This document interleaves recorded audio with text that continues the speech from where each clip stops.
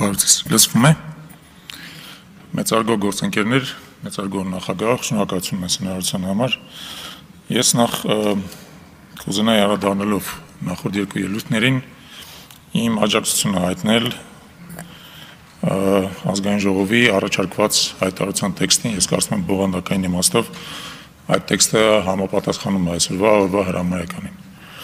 Եվ ակնհայտ է նաև, որ առանց խաղաղության պայմանագրի Ադրբեջանի հետ համազատման իրականացումը վերելու է մեր առանցքային ազգային իրավունքների ոտնահարման, այսինքն առաջին հերթին դա վերելու է դե ֆակտո Հայաստանի Հանրապետության կողմից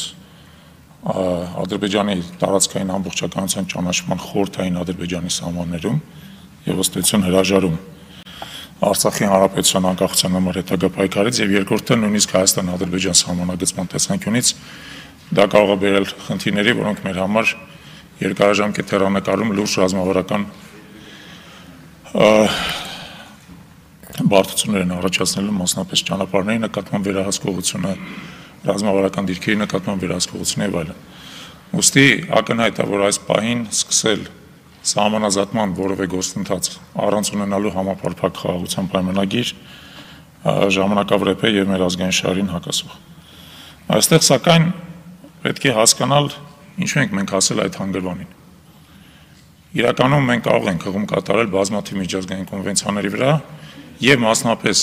Հելսինկյան եզրափակիչ ակտի, որը հայտարարում է, որ ուժայի ճնշման տակ ցանկացած միջազգային պայմանագիր առ ոչինչ է։ Բայց արդյոք առ ոչինչ են այդ պայմանագրերը։ Հայաստանի այսօրվա հանրապետության սահմանները ուժային ճնշման արդյունքում ձևավորված սահմաններ են։ 1921 թվականի Կարսի պայմանագիրը ուժային ճնշման արդյունքում ձևավորված պայմանագիր է, որը Հայաստանի Հանրապետության իրավան նախորդ Հայաստանի խորհրդային սոցիալիստական հանրապետությունը ստորագրել է։ Եվ այսօր այդ նույն պրակտիկան շարունակվում է։ Ինչքան էլ մենք ասենք, որ գոյություն չունի Արցախի հարցի ուժային լուծում, ես կարող եմ նույնիսկ հակառակը պնդել. Արցախի հարցի լուծում գոժա գոյություն չունի առանց ուժային հավասարակշռության եւ մեր կողմից առնվազն այն ուժային ռեսուրսի, որը հնարավորություն է տալիս մեր ազգային շահերը հետևողականորեն իրացնել։ Այդ իմաստով ես կարծում եմ, որ այսօր մենք կանգնած ենք իրականում բարդ երկընտրանքի եւ ընտրության առջեւ։ Մենք կարող ենք անընդհատ հավաքվել, խոսել եւ մեր սահմանները կարող են այդ ընթացքում կրճատվել, որովհետեւ Ադրբեջանը նորանոր ներխուժումներ իրականացնի օգտվի ամեն գործադիր այսօրվա իշխանության ամեն հերթական սխալից, որովհետեւ հերթական տարածքում հերթական անգամ դիր գրավի, ճանապարհ վերցնի, բարձրunk վերցնի եւ այլն, եւ մեզի վերջո պարտադրի այդ սահմանազատումը։ Եթե մենք ուզում ենք այդ ընթացքը կանխել, մենք պետք է հասկանանք, որ այսպիսի պայմաններում դա հնարավոր է միայն համատարած ազգային մոբիլիզացիայի պայմաններում։ Պետք է տեղ ունենա մոբիլիզացիա երկրի նրա սահմանների, նրա ինքնավի իշխանության պաշտպանության հրամականի շուրջը։ Եվ դա բարձ խոսքեր չեն։ Դրանք կախված են շատ կոնկրետ գործողություններից, որոնք մենք պետք անենք։ Մենք պետք է ըստեյցան վերականգնել մեր ռազմավարական եւ ռազմական կարողությունները, որոնք մենք այս պատերազմի ընթացքում զգալի չափով փոշիացրել ենք։ Թե ինչ պատճառներով պարոն Օհանյանը նշեց, ես մասամբ համաձայնն եմ, մասամբ կարծում եմ, որ պատճառները ավելի ընդարձակ եւ ընդգրկուն են, բայց իրողությունը այն է, որ եթե մի քանի տարի առաջ մեր ընդհանուր անվտանգային պաշտպանական ռեսուրսը գործոն էր տարածաշրջանում, այսօր նա այդպեսին չի հանդիսանում։ Նա կոտրված է։ Եվ այդպիսի կոտրված անվտանգային համակարգով մենք չենք կարող ըստ էության դիմադրել հակառակորդի անընդհատ նկարտումներին։ Մենք մեր անվտանգային համակարգը պետք է վերականգնենք։ Անվտանգային համակարգի վերականգնումը պահանջում է մի շարք առանցքային խնդիրների լուծում։ Սկսեմ ամենապարզ խնդրից։ Եվ անդառնում ձեզ, պարոն այ գործընկերներ, ազգային ժողովի падգամավորներ, դուք վերջերս ընդունել եք 2022 թվականի պետական բյուջե որովհետև պետական ծախսերը աճել են 18%-ով, իսկ պաշտպանական հատկացումները ընդհանրապես 11%-ով։ Այս իրավիճակում դա абսուրդ է։ Պաշտպանական ծախսերը մեր պետք է աճեն առնվազն 30%-ով։ Եվ դա նորմալ պրակտիկա է։ Այն երկրները, որոնք գտնվում են չդադարող պատերազմի պայմաններում, դրանք պրիվատիզացիա են անում պաշտպանական ծախսերը, ոչ թե ասֆալտ փռելը, ոչ թե այգիներ սարքելը, ոչ թե գյուղատնտեսական վարկերը եւ այլն կամ ենթադրենք նույնիսկ ուսուցիչների աշխատավարձը բարձրացնելը ամեն հարգանքով ուսուցիչների նկատմամբ։ Ես հասկանում եմ, որ դուք դեմ եք քվեարկել այդ բյուջեին, բայց իրականությունն այն է, որ մենք այսօր ունենք այդպիսի բյուջե։ Ադրբեջանի Ընդհանուր անվտանգային բյուջեն կազմում է 2.8 միլիարդ դոլար, մերը կազմում է պաշտպանական բյուջեն 700 միլիոն դոլար, այսինքն 4 անգամ պակաս։ Մեզ առնվազն այս պայմաններում պետք է 1 միլիարդանոց պաշտպանական բյուջե, ընդ որում, եթե պետությունը գոնե 800 միլիոն դոլարի հատկացում անի եւ մի շարք նախադրյալներ բավարարված լինեն, ես համոզված եմ, որ եւս 200 միլիոն կկարողանա անել մասնավոր հատվածը։ Մասնապես մեր հիմնադրամը հենց դրանով ազբաղվում Եվ եթե այդ նախադրյալները լինի, լինի միասնական պետական քաղաքականություն, մեր ռազմական կարողությունների վերականգնման ես համոզված եմ եւ տեսել եմ եւ աչքովս ասածն եմ ասում, մենք մնացած 200 միլիոնը կարողանանք հայթայթել եւ Հայաստանի մասնավոր հատվածից, որ այդ միջոցները ունի, եւ Սփյուռքիային ակտիվ շրջանակներից, որոնք պատերազմի օրոք դրան մասնակցել են, դրանից հետո հիաստափել, հետ են կանգնել, բայց հիմա կարող են վերականգնել իրանց աջակցությունը։ Նրանց ազդակա պետք որ դա արվելու է։ Մենք առանց որևէ ազդակել ենք անում, բայց ես համոզված եմ, որ նույնիսկ մենք կարող ենք մի քանի անգամ ավելի շատ միջոցներ հավաքագրել, եթե դա լինի համակարգված պետական քաղաքականություն։ Երկրորդը, մենք այս պահի դրությամբ պատերազմից 1 տարի անց մանրակրկիտ վերլուծություն ունենք եւ հստակ գիտենք ինչն է Ադրբեջանին հնարավորություն տվել ռազմի դաշտում հաջողության հասնել։ Ես համաձայն եմ պարոն Օհանյանի այն մտքի հետ, որ դա վերջին հաշվով պետական համակարգի տապալում էր եւ հենց այդպես էլ կա։ Եվ ի վերջո պատերազմում են պետությունները ոչ թե բանակները եւ հաղթում կամ բարդում են պետությունները։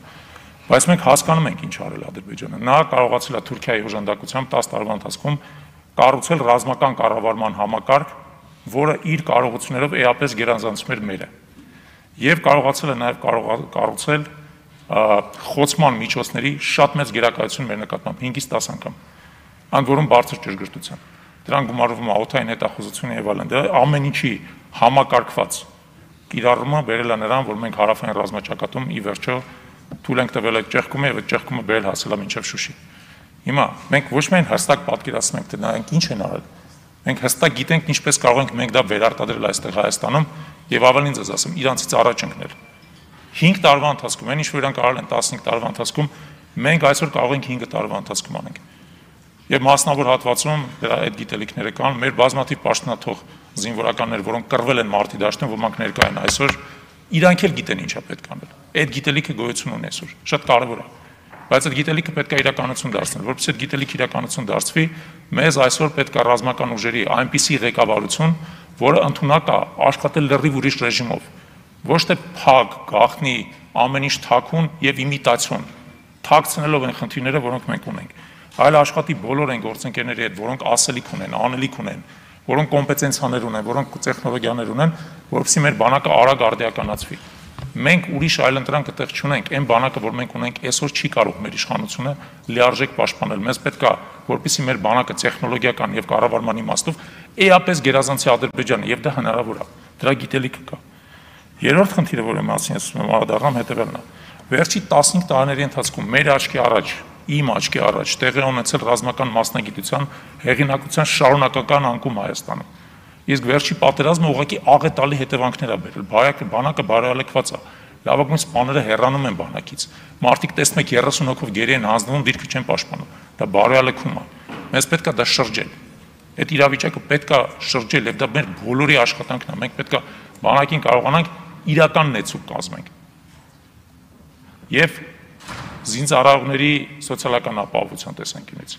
եւ իրանց հանրային հեղինակության տեսանկյունից, եւ իրանց աշխատանքի պայմանների տեսանկյունից։ Իրանք քոլիկներում եւ վրաներում չպետք է ապրեն, իրանք բաց դիրքերում չպետք է պաշտպանեն։ Այդ ամեն ինչի լավագույն այլընտրանքները կան։ Այդ ամեն ինչը հայտնի է եւ պատահական չի, որ հակառակորդը մեր սահմանը ճեղքում է հենց այն հատվածում, որում ճեղքում է, որտեղ այդտեղ ուղակի նախնադար է Եվ հակառակորդը դա տեսնում է, ինչ որ մարդիկ կարող են ինձ մեղադրեն, ասեն, բան եք բացահայտում։ Ոչ մի բան չենք բացահայտում։ Հակառակորդը մեր դեմը կանգնած է տեսնում է։ Եվ տեսնելով գալիս է մեր դիրքերի մոտ եւ ստիպում է, որ մարդիկ անznատուր լինեն, մեր դիրքերը պաշտպանողները, որովհետեւ այդ դիրքերը պաշտպանելու դիրք չէ։ Հիմա ինչ կարող անել խորհրդանական ընդդիմությունը եւ նաեւ արտախորհրդանական ընդդիմությունը։ Արդեն։ Ես կարծում եմ, որ մենք պետք է գանք կոնսենսուսի մեր բանակի վերականգնման շուրջը։ Մենք դրա շուրջը պետք է գանք համազգային կոնսենսուսի թե ինչ քաղաքական միջոցներով է դա արվում, թե եղած քաղաքական մեծամասնության հետ ինչպես է այդ պայմանավորվածությունը ձեռք բերվում։ Ուժային ճնշման, փողոցային ճնշման, բանակցություններով եւ այլն, դա պարոնակ ես թողում եմ ձեզ։ Դուք եք ազգային ժողովում, դուք եք ամենամեծ ընդդիմադիր ֆրակցիան։ Գտեք այդ ձևերը։ 1992 թվականին, որին դուք հղում եք կատարում, այդ փորձառությունը եղել է։ Երբ որ այսօրվա իշխանության իրավան նախորդ իշխանությունը Եվ այսօրվա ընդդիմության իրավանախորդ ընդդիմությունը վերջը կարողացան իրար հետ պայմանավորվել։ Եվ այդ պայմանավորվածությունը, պարոն Անյան, դուք շատ շատ լավ հիշում եք, էական էր պատերազմի ընթացքը շրջելու համար։ 1992 թվականի հուլիսի պայմանավորվածությունը։ Մեզ այս վիճակում պետք է կարողանալ հասնել գործող իշխանության ինչ որ մասի հետ, ամբողջի հետ, վարչապետի հետ կամ առանց վարչապետի, պետք է կարողանալ հասնել որոշակի կոնսենսուսի բանակի շուրջը, որովհետև ցանկացած քաղաքական հակամարտության շարունակում բերելու է նրան, որ մեր բանակի կարողությունները չավելանան։ Իսկ առանց բանակի կարողությունների մենք թղթի շերեփով ոչ մի խնդիր չեն կարողանալ լուծել։ Մենք մեր երկաթե շերեփը պետքա վերականգնենք։ Բոլորին հաջողություն եմ ցանկանում, դրանում շնորհակալություն։